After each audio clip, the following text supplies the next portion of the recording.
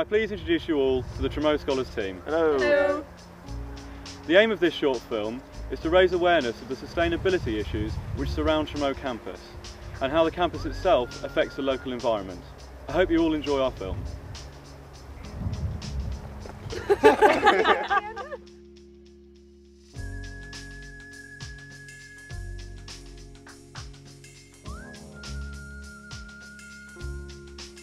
There are currently 1,600 students based at Tremough campus and this is expected to rise to 2,150 by 2015. This substantial increase will have a massive effect on Tremough campus itself and the surrounding community, so the role of individuals in minimising the impact is crucial.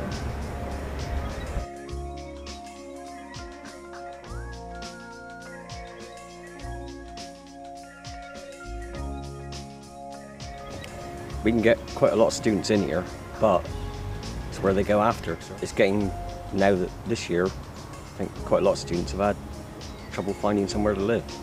One of the problems of being a vibrant town is that housing becomes a premium.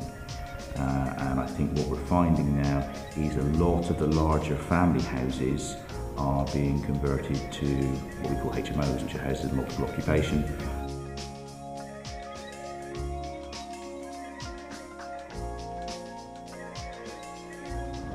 Due to the geography of Falmouth, um, there are so, only so many areas where people can live and the impact on housing in terms of from a student accommodation and the volume of people that have come into the area in a very short time is a real impact to the town. Housing situation. I don't know where my kids are going to go. Things like purpose-built student accommodation is the way to go. There is already one in the, in, in the area and they're looking at other possibilities for the future and that will be a, make a big difference.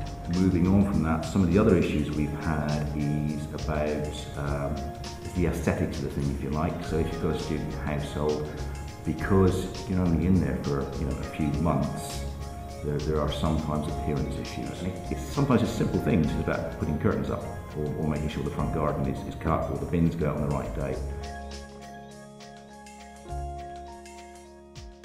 The campus will recycle if you put things in the right place. In the last two years, the students here at this campus have really, really worked hard to, to recycle. This campus was producing, as the residents alone, somewhere in the region of about between 200 and 300 bags of either recycled plastic and cardboard. And it's on the increase now. It's reaching nearly 500 bags per week. All this stuff that goes back to Cory's tr- uh, recycling depot at Truro all gets recycled within the UK. Recycling, for example, culturally, I mean, you can argue about you know whether it's effective in terms of dealing with environmental questions, but it's actually very deeply embedded now culturally in the way in which we think about our relationship to the environment.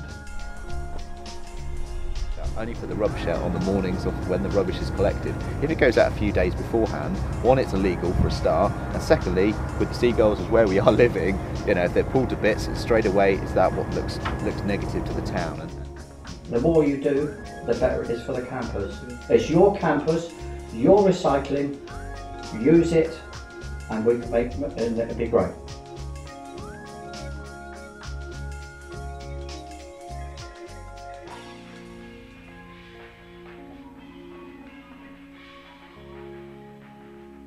Tremough campus does have a positive impact on the local economy and its growth. There are 28 bars and pubs alone in Falmouth and 15 taxi firms, which would probably not be able to sustain themselves if it wasn't for the students. I think it's had a good effect. I know there not everyone thinks the same, but I do. I think you know they're bringing a lot of uh, a lot of money to the economy. in term time, I mean, we are like rammed, really, really busy, constant stream of people. Whereas when, you know, out of term time, we actually have to have our hours cut. Without the student population, our busiest night would be dead. So, personally, I find it really difficult when people speak about how the students are ruining this town when really I think without the students this town would still be a tiny little fishing village with hardly any wealth in their economies. There's a lot of money flying in from the university which is pretty good. the students coming down from Tremough is probably during term time can account for up to 10-15% of our business. I think a lot of the businesses in Falmouth, you look, walk down the high street um, and there are businesses that are even struggling now.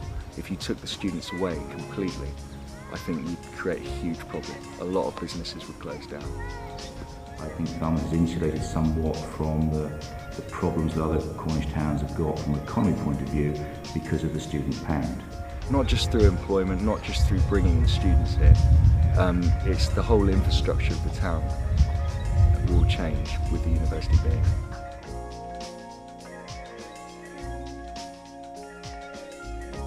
it is always important to uh, be associated with uh, universities and campuses and places that are uh, the temples of the modern world. And education plays a very important uh, role in spreading the message of healthy sustainable and informed eating. A, a lot of responsibility uh, lies upon students shoulders because they can start a fantastic food group a good food tradition in the college and talk about it well, students can get involved with sort of ordering local veg boxes. Um, there's a really good local producer um, at Cusgarne um, who you can just uh, Google search and um, they'll deliver boxes to campus and they're pretty reasonable as well, which is a really good way to um, get local produce at a reasonable price. Stannary is really good at using local produce as much as they can be because obviously they've got to deliver a service. Um, but recently they've um, decided to only stock um, Marine Stewardship Council approved fish, which is brilliant, um, and they also order a lot of their um, fruit and vegetables from West the West Country distributors. I strongly believe in the future, and I think that Tremough campus is, is surely and certainly and slowly becoming a hub, an example of sustainability in the whole of the country. And I guess.